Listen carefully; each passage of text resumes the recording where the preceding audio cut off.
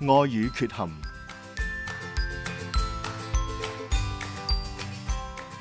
教中方济各喺爱的喜乐劝喻》之中，帮助我哋睇到爱点样克服人哋嘅软弱同埋过失。正如佢话：，有爱的人会包容缺陷，面对所爱的人表现的缺点，懂得保持沉默。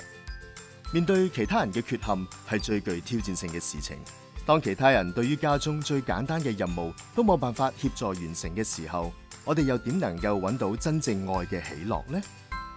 虽然家庭生活有好多温柔同埋喜悦嘅时刻，但系佢都可以带嚟最大嘅个人挑战，因为我哋最爱嘅人有时就系最令我哋动怒嘅人。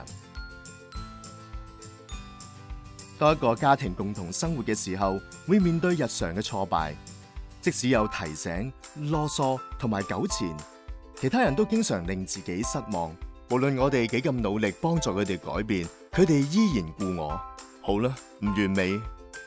教宗方济各提醒我哋，为咗要发现爱嘅喜乐，我哋应该试下将每个视为未完成嘅作品，有待成长，工程仍然进行之中。尤其系喺婚姻之中，如果我哋总系互相批评，咁就显示夫妇冇将婚姻视为共同努力嘅事业，系必须要心怀忍耐、体谅、包容同埋慷慨。因为爱打开咗我哋嘅眼睛，让我哋能够保持心胸广阔，从对方嘅角度体谅呢啲软弱同埋过失，明白到呢啲缺失并唔构成对方整个人，对方唔净系嗰啲使我烦恼嘅事，绝对唔系净系咁。因为咁，我哋唔要求对方嘅爱十全十美先至欣赏。另一个人既唔能够扮演天主，亦都唔能够满足我哋嘅所有需要。